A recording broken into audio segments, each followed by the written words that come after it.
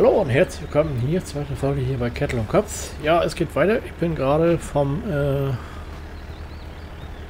Hafen, Getreidehändler und fahre jetzt äh, nach Hause. Und zwar zum Hof. Ich habe nur alles verkauft, was nun im Lager war, bis auf kleine Reste, wie viele BGA. Ach, hier kann man Silage verkaufen. Okay, das wollen wir ja nicht. Ja, nee, das wollen wir nicht. Ja, äh, wenn am Hof ist, das lohnt sich ja nicht. Und ich stelle mal so fest, die Preise sind pro Kilogramm. Der Hänger wird aber auch ein Liter angezeigt. Das bedeutet, ja, Einbahnstraße, ne? Das bedeutet, wir kriegen also die 19.000, die ich mal gerechnet habe, stimmt so nicht. Dann wären ein paar Euro mehr gewesen, wenn das so wäre, mit Liter und, und Preis. Das Kilogramm. Wird komplett verkehrt. Hier Strohverkauf. Junge. Einmal die Runde drehen. Fahren wir den Fall in die andere Richtung, ne? Besser. Ja, hier kann man Stroh verkaufen und äh, ich glaube sogar Heu. Das Problem ist nur bei mir zurzeit, äh, um Heu und Stroh machen zu können, brauche ich Geräte. Die Geräte, die habe ich leider nicht. Deswegen geht's nicht. Ich bräuchte ja immer einen Traktor, wo man was vorne anbauen könnte. Dann brauche ich äh,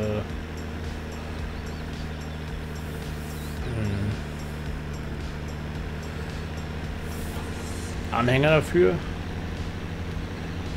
Ja, die Gabel natürlich, ne? Ja, das ist schwierig. Und was noch schwieriger ist, äh, kriegt das mit dem Beladen nicht so hin. Mit der Steuerung hier. Aktuell jedenfalls. Und zum Testen ist mir jetzt der Spielstand zu schade. Beziehungsweise für das Geld sowieso. Äh, deswegen habe ich ja gehofft, dass äh, Raps kommen würde. Da könnte man das entsprechend äh, eh keinen Strom machen, ne? Von daher wäre. Aber gut, äh, nächstes Jahr will ich ja Mais machen. Körnermais, aber Körnermais. Äh, da kommt auch kein Stroh an. Von daher ist das gut. Anführungszeichen.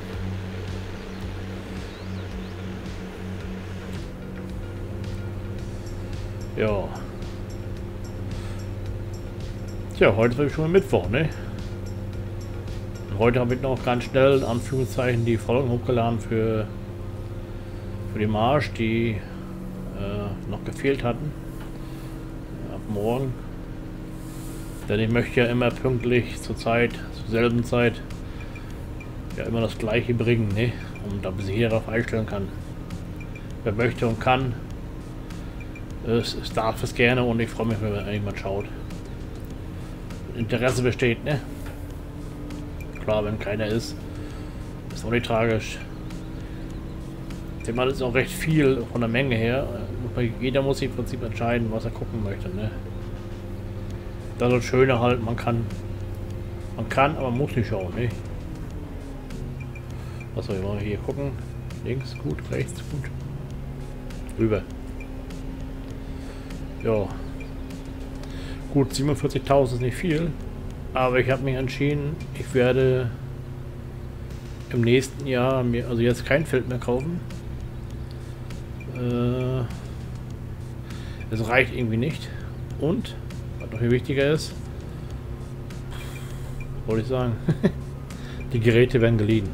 Also die See, die Saateinheit werde ich einfach ausleihen. Denn so kaufen würde ja auch etliche ja. Es würde zu viel kosten, mal sagen wir so. Und jedes Jahr machen wir kein Mais. Getreide schon eher, also Hafer ist auch nicht da, aber äh, Gerste, Weizen, Rocken. Ne, da wollen wir abhängen. So. Ja. Die Tellermaschine ist noch hoch, äh, am, am Feld. Da fahre ich jetzt hin. muss ja noch einiges gezellert werden, bevor wir das im Frühling äh, ja, jetzt die Zeit überspringen können, ne?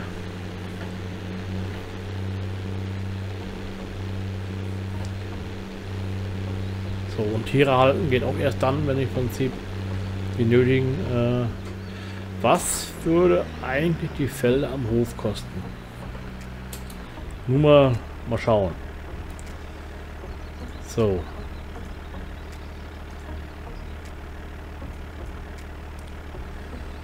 Zwar, das wäre... Oh, mal gucken. M. M. Am Hof gibt es ja nur 1, 2, 3. Also Feld 22 wäre interessant. Diese kleinen äh, weniger. Gut, wenn ich später mal Gras machen will, vielleicht schon, aber wie gesagt, das wäre Feld Nummer. Was kostet man, ne? Vom Boden her. Hm. Naja. Nicht so optimal. Das soll wohl das Bessere sein, ne? Gut, äh, Feld 22. Wollte ich schauen. Ist mal interessant, wie groß es überhaupt ist, ne? Das kann ja täuschen, ne? So, gucken wir mal.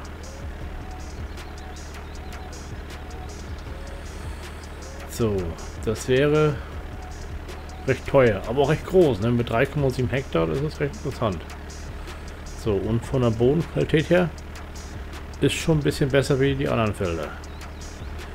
Wie die eigenen. Äh, Im Besitz Feld 1. Das ist schon nicht schlecht, aber auch der Ertrag entsprechend zu sehen, ne? Feld 3. Ja, das ist schon... naja, nicht das allerbeste. Wie gesagt, hier oben soll das Beste sein, ne? Ja, Feld 4. Ist auch nicht so berauschend. Feld 5. Ist auch nicht so doll. Habe ich Grunde die verkehrten Felder gekauft. Äh, gut, jetzt verkaufen wir auch Blödsinn. Ich habe mal für so entschieden, ne? Also hier, ne, also ich schon mal drei jedenfalls ist ganz gut von der Oberfläche, also Krümeldichte nach oben, äh, Krümeligkeit. Es geht sicherlich besser, ne? Na gut. Da ja die Felder schon bearbeitet sind, mehr oder weniger, würde ich mal sagen, ich verkaufe das jetzt nicht. Es wäre aber eine Option, im nächsten Jahr die Felder zu verkaufen.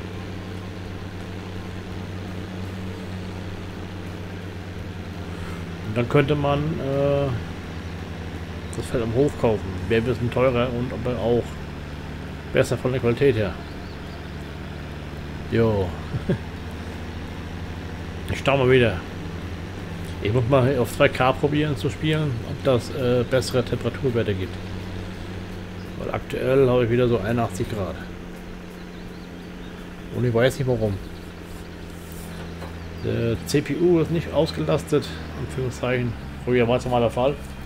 Jetzt. Oh, oh, da böse Geräusche. Ich habe mehr Schäden, ne?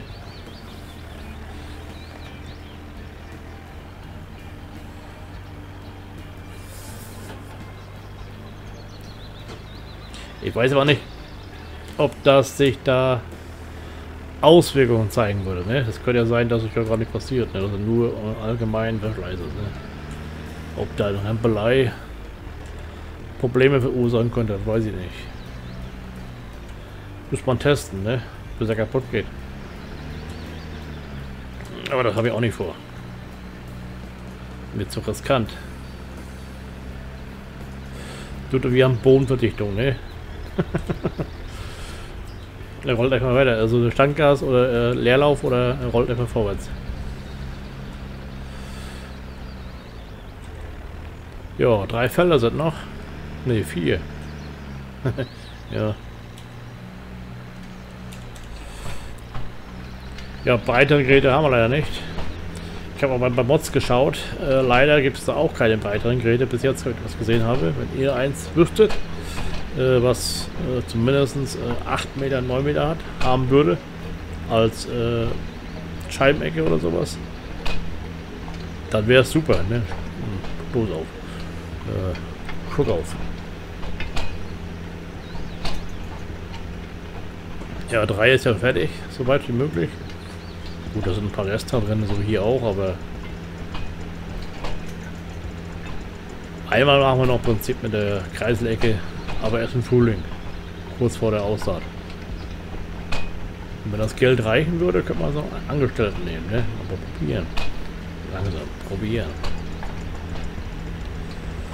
So.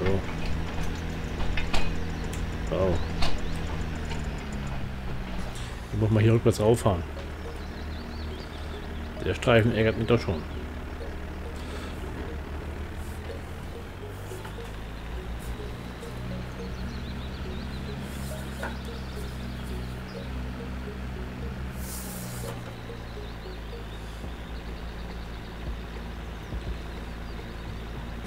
Das ist Bohnen und Nasses.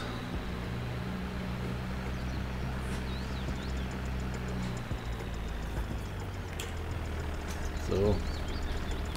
Der rollt ja alleine vorwärts, ne? Normalerweise ist das äh, schwierig, aber so, ne? Normalerweise, wenn der Gruppe drin ist, wie eine Bremse. Oder ein Scheinwerfer in dem Falle. Ja, sieht besser aus. Dekorativ, dekorativ.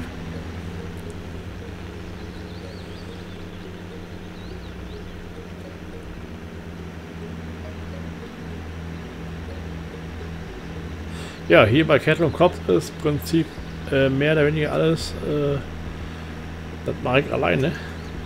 Und aktiv jemanden einstellen, müsste man pro Prinzip. Ja, genau. müsste man Prinzip, äh, muss er jetzt zurückfahren. Mal probieren, ne, wie das geht. Weiß es nicht. Super, ne? Nicht Robert.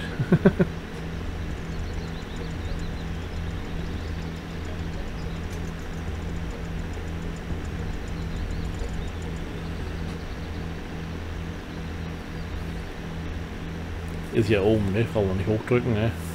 V.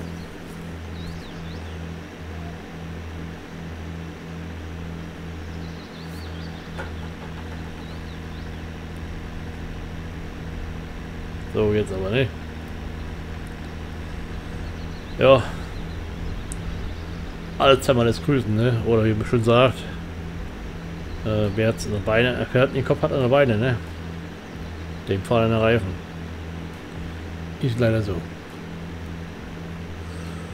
Ja, macht aber nichts. Man trotzdem mit durch. Das äh, Tellern ist eine recht eintönige Arbeit. Äh, auch eine echten Landwirtschaft, denke ich mal. Aber in den größeren Feldern halt, ne? Ich daran denke, an den Felder, wenn ich so sehe im Fernsehen oder, oder auf YouTube oder so, ne? Internet, äh, von Russland und so, oder Kanada oder USA. Riesige Dinge. Oh, ein Reh rechts. Der Reh hält sich hier immer auf. In der Ecke hier. Ja, Feld 1 schon bessere Qualität vom Boden her. Natürlich ein bisschen ärgerlich, dass der Rest nicht so ist. Aber Vielleicht auch Absicht. Gut, okay, das haben sie später gemacht, aber wie gesagt, wenn das so ist, dass nur die äußeren Fälle interessant sind, ja, dann ist das in Anführungszeichen immer, weil ich ganz gerne Fälle am Stück habe, bei der Ernte so schon anscheinend. Ja, mal sehen. Düngerstöpsel und so hinkriegen. Wo Dünger jetzt noch nicht so ausschlaggebend ist, ne? Dann weiß ich nichts davon. Oder steht auch nichts davon. Nur halt die Bombenbearbeitung, ne? Die kann man sich sparen, wenn man keinen Einfluss, keinen Einfluss hätte.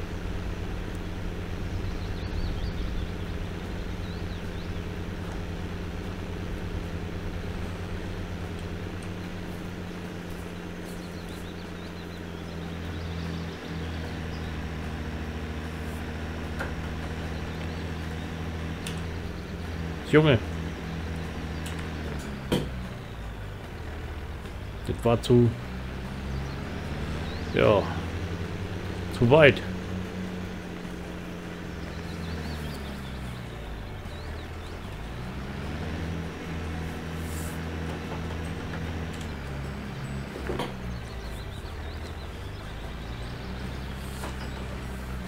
Der war doch schon richtigen Spur.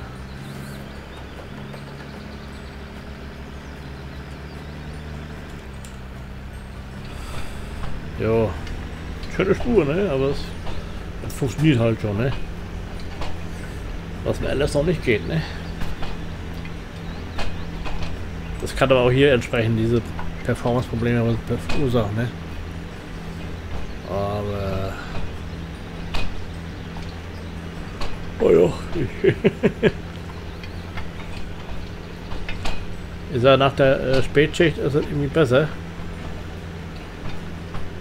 Obwohl, am besten geht es am Freitag. Nach der Frühschicht. Nach dem Bahn. Stunde auf der Couch. Und dann ist die Müdigkeit weg. Oder sie ist voll da. Als von beiden, ne? Am meisten nach einer Weile, gegen drei, bin ich dann entsprechend auch wieder runter. Und dann geht es auch abends besser voran, ne?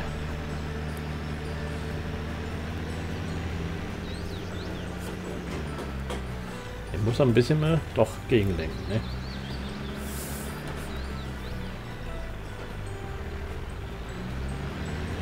So.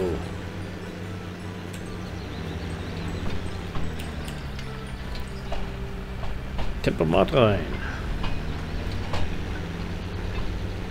Ja, wie die Schaltmerker aussieht, temperaturmäßig, das kann man aber auch schon irgendwo sehen. Achso, bei Fahrzeuge. Zwar ist das hier, machen wir ganz oben. Gucken wir mal an, wie, das Gerät aussieht von der, von der Wartung her.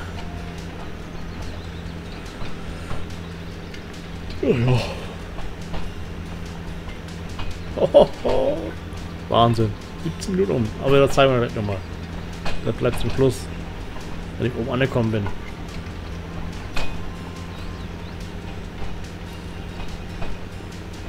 Naja, Uhrzeit ist von mir jetzt äh, 16.40 Uhr. Ne, 20. 16.20 Uhr. So. Da sind wir. Und die andere Richtung. Und dann gleich mal gucken, wie die Geräte aussehen, ob man da was machen muss. Oder müssen.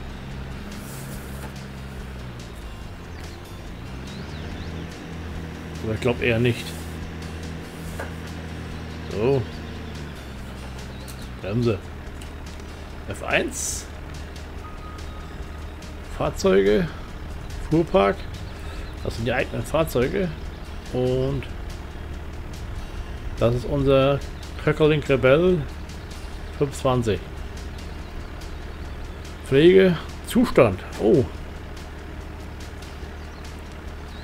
Bei 83 Prozent könnte höchstens reinigen, aber wie gesagt, äh,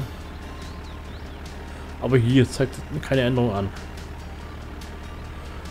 Äh, um Köckerliche Bell gibt es noch mehr. Ich glaube eher nicht. Wenn wir hier sind, ne? So. So ein kleinen Gerät von 300. Tiefe 10 cm. Aha. Äh, 410 auch 10 cm. Und der 25er hat 20. So, noch hat man noch einen Gruppe gehabt. Das ist... Der hat... Eine Gruppe, den hat er nicht, ne? Ja, Lischau, das soll es auch schon vorher gewesen sein. Dann sagen wir Tschüss und ciao. Ein schön dickes Dankeschön, für dass Sie reinschauen. Ja, morgen geht es hier weiter. Ja, mit Zeller weiter. Tschüss und bis vielleicht bis morgen. Tschüss.